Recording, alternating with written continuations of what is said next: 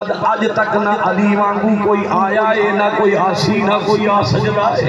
ہی سے محبت والے نے جملہ لکھ دیتا وکھرا زمانے سارے تو رتبہ حسین دا کردائے شاہی مومنو نوکر حسین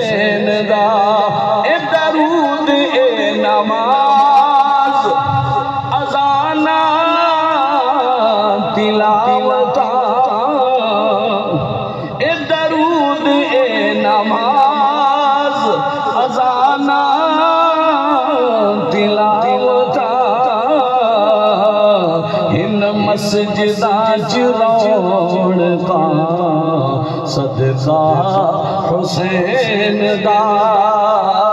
دا ہن مسجدہ چروڑ کا صدقہ حسین دا۔ آج اگر کتھائیں قرآن پیا پڑھی رہے، کوئی دارالعلوم پیا چل رہے، کوئی مسجد آباد ہے۔ کتھائیں ازانہ پیا ہونیاں، تلاوتہ پیا ہونیاں، ذکر خدا پیا ہوندائے ذکر مصطفیٰ پیا ہوندائے سن اکسد ہجری دے بعد اے عظمت حضرت امام حسین دی کہ انہوں نے دین دا علم ایسا بلند فرمایا کہ جا جاتے آج اللہ دے اللہ دے محبوب دا ذکر پیا ہوندائے ایمان سے محبت والے نے جملہ لکھا، اے درود، اے نماز ازانا تلاوتا ان مسجدہ چروڑ پا صدقہ حسین دا۔ ہن مسجدہ چروڑ پا صدقہ حسین دا اور تیرا سجن حساب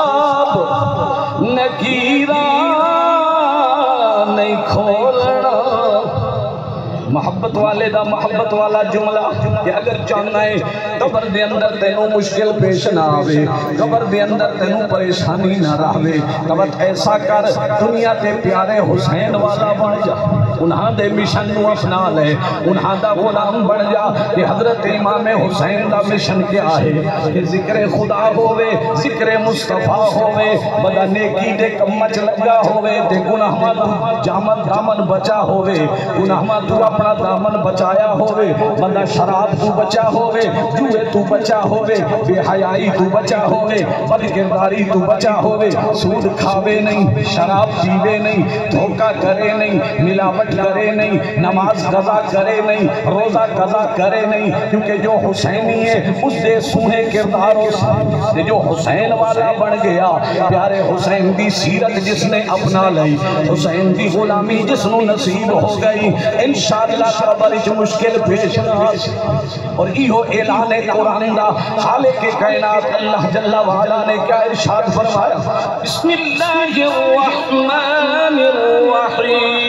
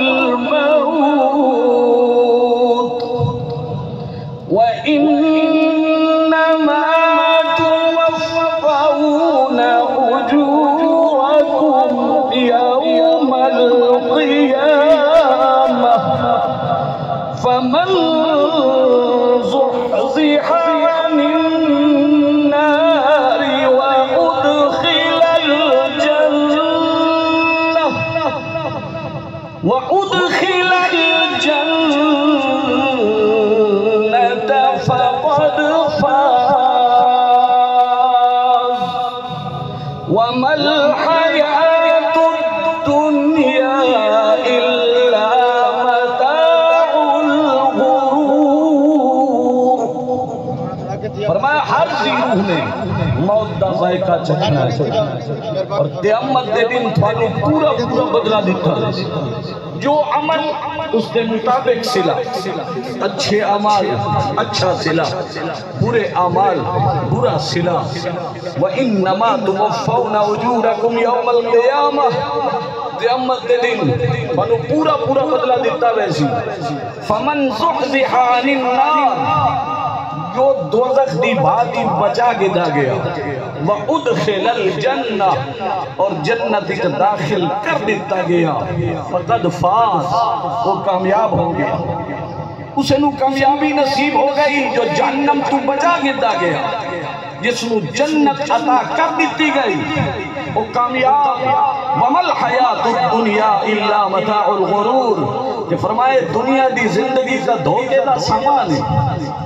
تو کتنا خوش نصیب مومن، کتنی خوش نصیب وہ مومنہ کہ جس دا آخری وقت ہوئے، مرن تو پہلے اللہ دے پاک تے پیارے فرشتے رب دی طرف سونا پیغام لے کے آ جاؤ مٹھی بولی آ کے سنا دے میں، دل دے سارے غم مٹا دے میں، جنت والا سونا گھر بکھا دے میں، جس دے بارچ رحمت للعالمین، خاتم النبیین جاند عالم، حضرت محمد عربی، صلی اللہ علیہ وآلہ وسلم نے ارشاد فرمایا کہ جدا مؤمن دا آخری وقت آندے کسے مؤمنہ دا آخری وقت آندے حضرت ملک الموت علیہ السلام، پنج سو نوری فرشتہ دی جماعت نال لے کے آوے بیس قسم دے جنت دے خوشبودار پھول نال لے کے آوے اور آ کے اس مرن والے نو، اس مرن والی نو جنت والا وہ اپنا گھر دکھا دے۔ جتھے اس نے پہنچنا ہے، تے نال سنہا پیغام کیا سنے نے، جس دی گواہی قرآن دیندہ ہے۔ خالق کائنات اللہ جل وعلا نے ارشاد فرمایا، بسم اللہ الرحمن الرحیم۔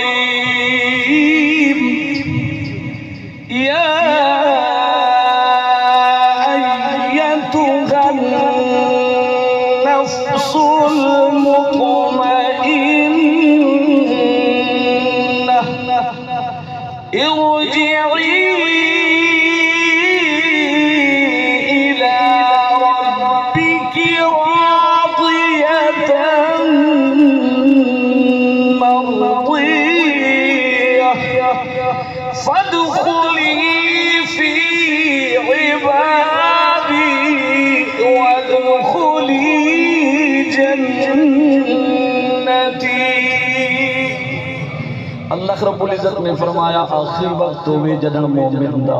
اللہ دے پیارے تے پاک فرشتے اس بندے دے قریب آکے، اس نو جنت والا محل دکھا کے کیا پیغام سنے نے؟ اے اتمنان والی روح، اے اتمنان والی جان۔ آ اپنے رب دو واللہ، تیرا رب تیرے تے راضی، تو اپنے رب تے راضی۔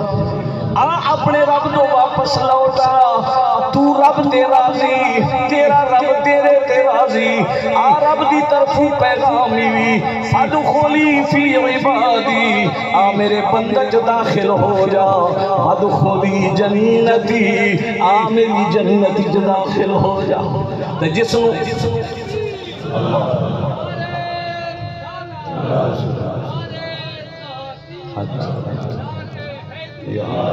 جس کو مرے تو پہلے جنت کا پروانہ مل جاوے، وہ کامیابی ہو گیا نا۔ مہد خیل الجنت فقد فاز۔ جب پہلے ہی جنت دی بشارت مل گئی، وہ کامیاب ہو گیا۔ اس وقت شاعر نے پیغام دیتا، اے مومن، اگر چاہنا ہے قبر دے اندر تینوں فرشتے منکر نکیر اوکھا نہ کریں تیرے سوالان دے وچ مشکل نہ بنے۔ مت دنیا دے ہوتے توبہ کر لے، حسینی بن جا۔ سونے حسین دا نوکر بن جا۔ پیارے حسین دی اتباع کر لے، کیونکہ حسین وہی چاہتا ہے جو میرا مصطفیٰ چاہتا ہے۔ حسین وہی طریقہ جاری کروانا چاہتا ہے جو میرے مصطفیٰ دی پسند آئی۔ جو حسین دی تابداری چاہ گیا، حسین والا بن گیا۔ انشاءاللہ موت بھی آلہ ہو سی قبر بھی آلہ ہو سی میدان حشر دے بھی جو بندہ عزت والا ہو سی ہی بس سے محبت والے نے جملے لکھے، مل کے پڑھ سوچا میرے نام گونج کے، تاکہ آواز پیدا ہوئے، سبھی حاضری لگ جاوے، کربلا محلہ شریف۔ وکھرا زمانے سارے تو۔ رتبہ حسین دا وکھرا زمانے سارے تو۔ رتبہ حسین دا کردائے شاہی مومنو نوکر حسین دا اور تیرا سجن حساب نکیرہ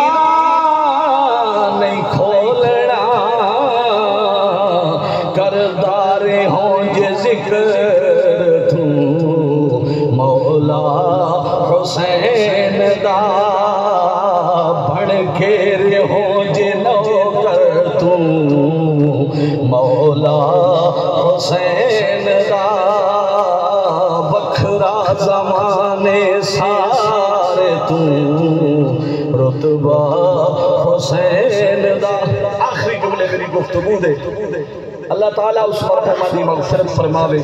اللہ اس دے بچہ نو صبر عظیم عطا فرماوے۔ اس صبر دے ہوتے اللہ پاک انہاں کو عجر عظیم عطا فرماوے۔ ماں دنیا دا ایک عظیم تحفہ ہے۔ میرے پیارے نبی، رحمت للعالمین، خاتم النبیین، حضرت محمد عربی صلی اللہ علیہ وآلہ وسلم، تشریف فرماہن، ایک شخص، آپ دا ایک غلام یمن دے علاقے جو آپ دی بارگاہ عالیہ دے وچ پہنچا۔